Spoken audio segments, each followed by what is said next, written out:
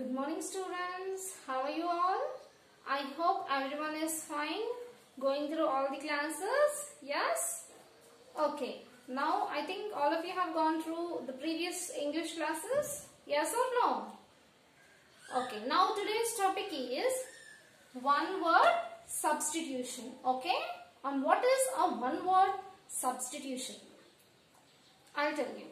If we replace a group of words with one word, it is known as one word substitution. I'll repeat once again.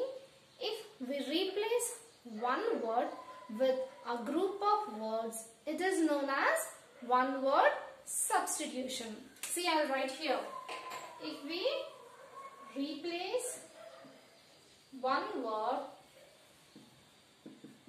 with a group of words. Understood? See, we are replacing one word with group of words. So, instead of using too many words, we will replace the whole group of words, mean whole sentence with one word. That is one word substitution. I think you have understood. And here, what is replacing? Replacing is nothing but substitution. Understood? We are replacing, that is, we are substituting a group of words with one word. That is one word substitution. I think all of you have understood the concept of one word substitution. Now I'll tell you one example. What is passion? Passion is nothing but hobby. Hmm? See, this is one word. Now, a group of words for this is a very strong feeling for something. So, I think you have understood it is a very strong feeling for something. Passion or hobby is a very strong feeling for something. So, see here a very strong feeling for something. Here we have more than five words. So, these five words we are replacing with one word that is passion or we can also replace these words with hobby. I think you have understood the concept of one word substitution. Yes or no? It is replacing a group of words with one word. Okay. Now, we'll go through the exercise which is there in your notes book. Okay. See, you can find the exercise here. It's time to be a word detective.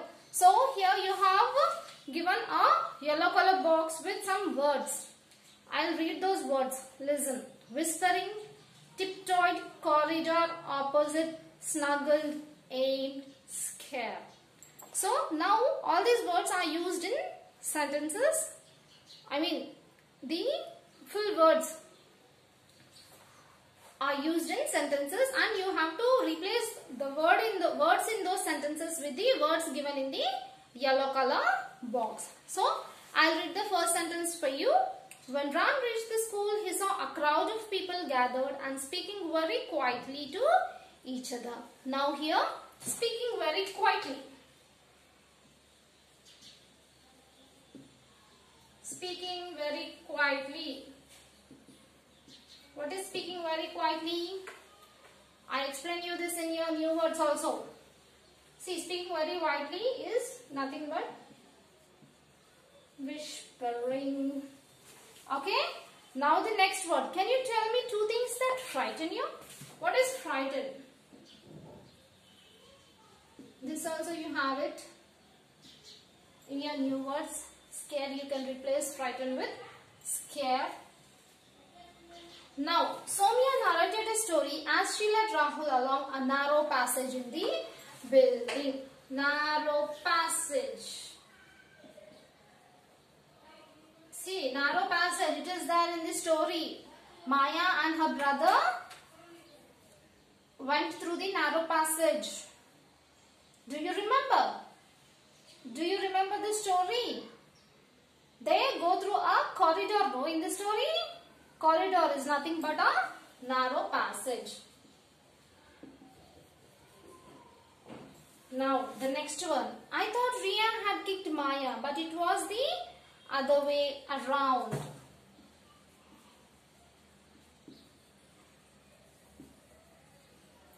What is the other way around? See this also you have it in your meanings. You have uh, gone through this word, this group of words in your story. The other way around is nothing but opposite. Okay. Now the next one. The boy drew the arrow and directed it at the target. What is directed? It is aim. Note down all these in your book. Okay. See, speaking very quietly. Instead of uh, writing this, you can write whispering, frightened, scared, narrow passage, it's corridor.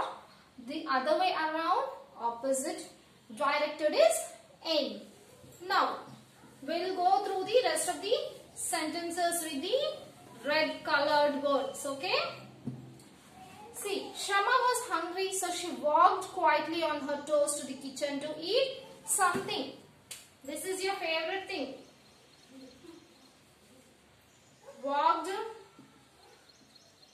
quietly on her toes. What is it? This also you have it in your story. You also do this in your home. Yes? Tiptoed. Now, it was so cold that she pulled her quilt and moved into a warm and comfortable position in her bed. Moved into a warm and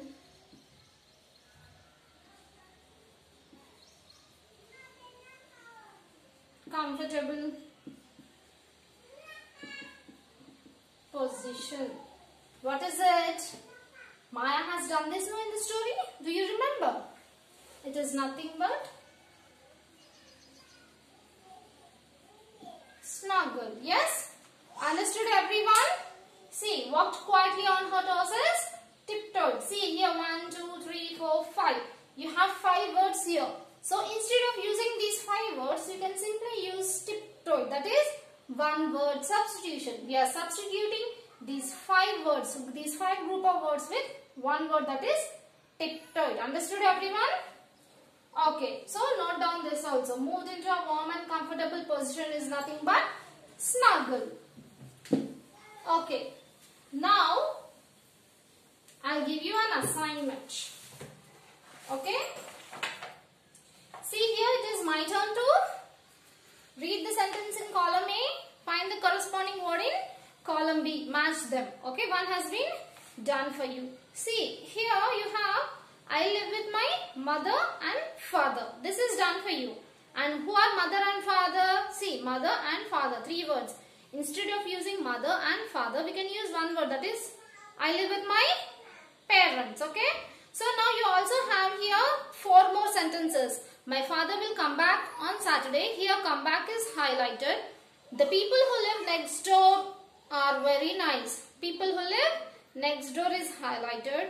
I heard a loud sharp cry at night. Here loud sharp cry is highlighted in red color.